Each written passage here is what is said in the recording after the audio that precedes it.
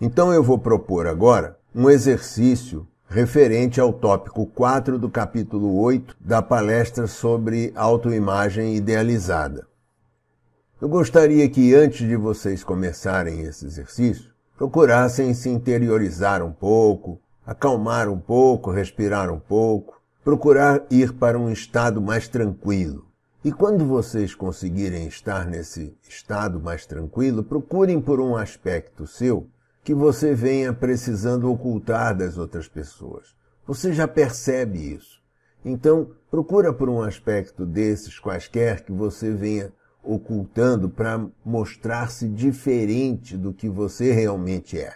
Não escolha assuntos controversos nesse momento é apenas um exercício, uma forma de você perceber como tratar esse tipo de assunto e, portanto, procure aqueles aspectos que lhe pareçam ser mais fáceis de serem trabalhados.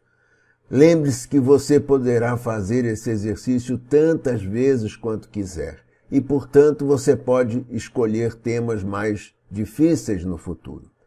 Quando você se sentir pronto, continue.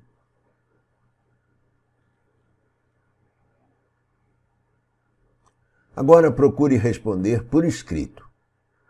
Como que você já consegue se perceber escondendo esse aspecto que você escolheu trabalhar para que as outras pessoas não percebam que ele ainda existe em sua personalidade?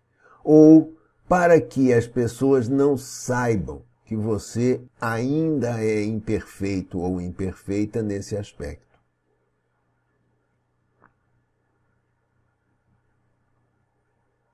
Procure descrever a maneira preferencial que você vem utilizando para esconder essa parte indesejável sua.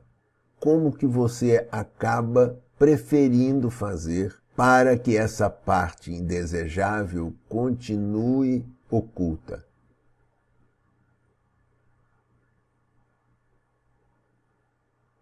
O que você deseja receber do mundo ou das pessoas quando você vem fazendo isso? Você vem recebendo o que deseja?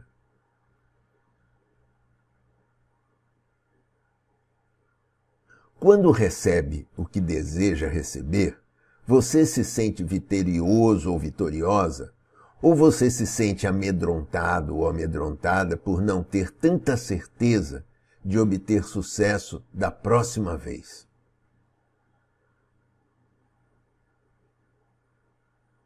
Como você se sente quando não recebe o que deseja? Você sente raiva, ansiedade, medo, despeito, desdém? Se sente conformado? O que você sente?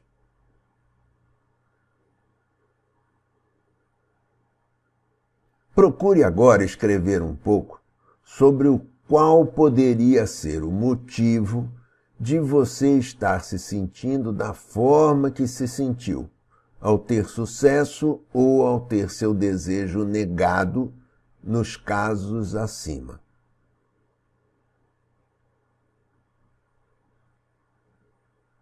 O que faz com que você continue agindo assim nestas situações? Procure encontrar os motivos pelos quais você não acredita que poderia fazer diferente e faça uma lista desses motivos. Experimente fazer essa lista por escrito.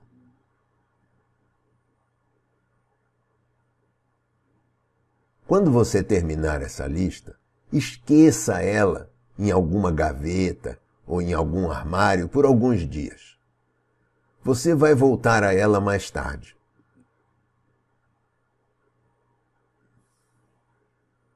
Agora já é hora de voltar à sua lista de motivos, aquela lista que você escreveu alguns dias atrás. Veja agora se os motivos que você listou dias atrás são realmente válidos. Veja se eles continuam sendo válidos. Ou se você apenas usou para escolher trilhar um caminho que fosse mais fácil nas questões que você listou antes.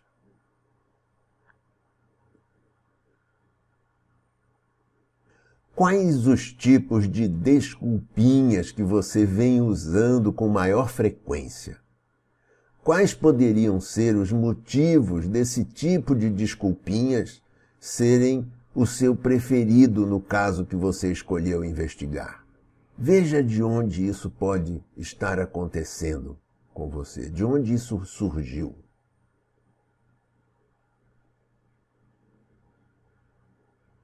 Caso você já sinta vontade de mudar sua maneira de lidar com alguns desses aspectos da sua vida, qual poderia ser o seu próximo pequeno passo que poderia ser dado nessa direção?